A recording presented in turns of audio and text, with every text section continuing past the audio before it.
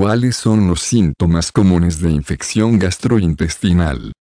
Las infecciones gastrointestinales ocurren cuando una persona consume bacterias o parásitos que son dañinos para el sistema gastrointestinal.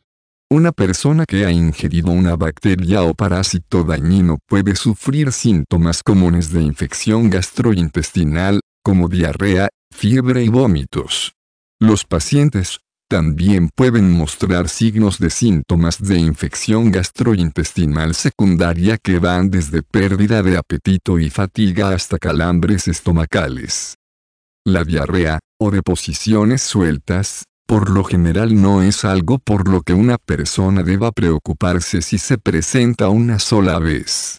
La diarrea crónica, por otro lado, está en la parte superior de la lista de síntomas de infección gastrointestinal.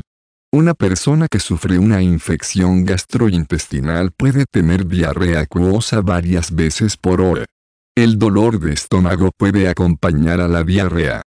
Una persona que sufre de diarrea continua normalmente tendrá que abandonar la escuela o trabajar y permanecer cerca de un baño hasta que la infección esté fuera de su cuerpo. Si una persona nota sangre en sus heces, debe hacer una llamada al médico. Los síntomas de infección gastrointestinal, como una diarrea excesiva, también pueden causar que una persona se deshidrate peligrosamente. Las personas que sufren una infección de este tipo deben asegurarse de mantenerse hidratadas tomando mucha agua o bebidas deportivas que contengan electrolitos. Muchas veces, la diarrea causada por una infección gastrointestinal se acompaña de fiebre. Una persona puede tomar algunos analgésicos de venta libre para tratar de bajar la fiebre. Descansar lo suficiente también es vital para las personas que se recuperan de problemas intestinales.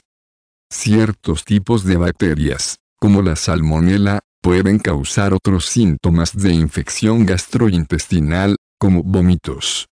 Las personas comúnmente contraen salmonela al comer huevos o pollo crudos o poco cocidos.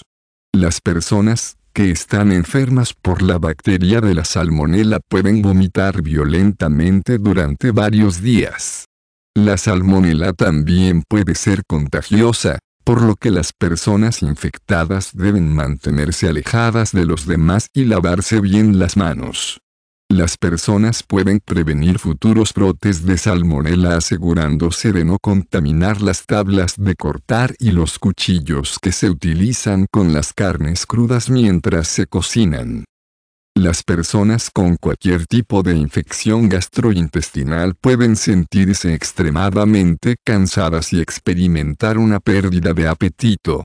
Si una persona que sufre de un problema gastrointestinal no tiene hambre, entonces debe tratar de chupar trozos de hielo o masticar galletas simples. Una persona que sufre una infección estomacal debe limitarse a actividades discretas como leer, dormir la siesta y mirar televisión. No se recomienda hacer ejercicio o realizar otras actividades extenuantes mientras el cuerpo está deshidratado.